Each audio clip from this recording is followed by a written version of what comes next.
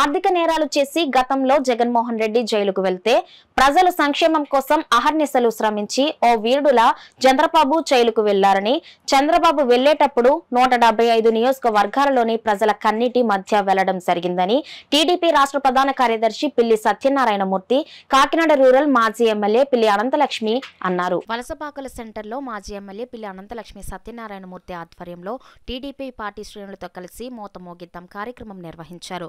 Bike హారన్లు కొడుతూ బోరలు ఊదుతూ car horn చేస్తూ ఐదు నిమిషాల పాటు కార్యక్రమం నిర్వహించగా రోడ్డు మీదుగా వెళ్ళే వాహనదారులు సైతం మద్దతు తెలిపారు. ఈ సందర్భంగా వారు మాట్లాడుతూ రాష్ట్ర వ్యాప్తంగా మూతమోగిద్దాం కార్యక్రమం ద్వారా ప్రజా శబ్దం జగన్కి వినిపించేందుకు అలాగే చంద్రబాబుకు తెలుగు ప్రజల మద్దతు తెలిపేందుకు కార్యక్రమం చేపట్టడం జరిగింది అని అన్నారు. ఈ కార్యక్రమంలో పార్టీ నాయకులు కార్యకర్తలు పాల్గొన్నారు. మేరకు మా ధర్నాలో మేము చేయడం జరుగుతుంది.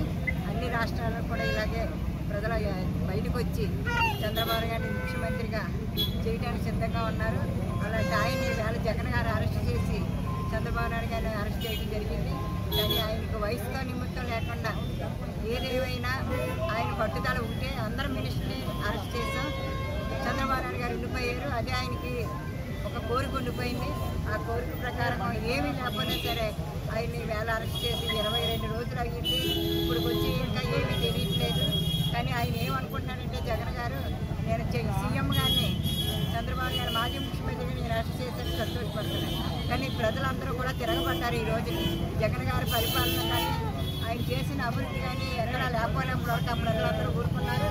ఎప్పుడైతే చంద్రబాబు నాయుడు అరెస్ట్ చేశారో ఈవేళ ప్రజలందరూ బయటకు వచ్చి చంద్రబాబు నాయుడిని మద్దతు పొందుతున్నారు ఏదేమైనా మహిళలందరూ కూడా బయటకు వస్తున్నారు ఆయన ఎంత విడుదల చేయాలని అందరూ కూడా మేము దేవుడికి పూజలు చేస్తున్నాం.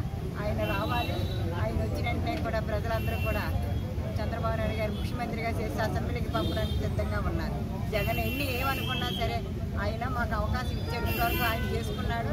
ఈవేళ అరెస్ట్ చేసి ప్రజలందరికీ అవకాశం ఇచ్చేది అరెస్ట్ చేసి మరి అరెస్ట్ చేసినప్పుడు జగన్ గారు జైలుకి వెళ్ళాడు మా నాయకుడిని కట్ట సాధించి జైలుకు పంపారు.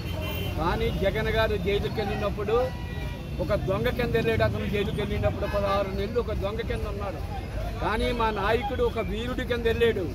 ఆ వీరుడు కూడా ఎలాగంటే నూట డెబ్బై ఐదు నియోజకవర్గాల్లో ప్రజలు ఆడ మగ తల్లి పిల్ల బిడ్డ అనే కా- తేడా లేకుండా వీధిలోకి వచ్చి ఏడ్పులతోటి నవ్వులతోటి జైజేలతోటి రాజమండ్రి జైలుకి సాగనమ్మడం జరిగింది. నూట తొంభై ఎనిమిది దేశాల్లో మా నాయకుడి ఘనత వంద దేశాల్లో ఈ దక్కి చాటారు ఇవాళ. ఈ జగన్ గారు మా నాయకుడి యొక్క కీర్తి ప్రతిష్టను ప్రపంచ దేశాల్లో కొనియాడే విధంగా చేశాడు. దక్షుడు వరం ఇచ్చినప్పుడు తన నెత్తి మీదే చెయ్యటి చెయ్యటి పరీక్షించుకుందాం అనుకున్న తత్వం కింద ఇవాళ జగన్ గారి యొక్క నాశనం అతని చేతులతోటే పెట్టుకున్నాడు.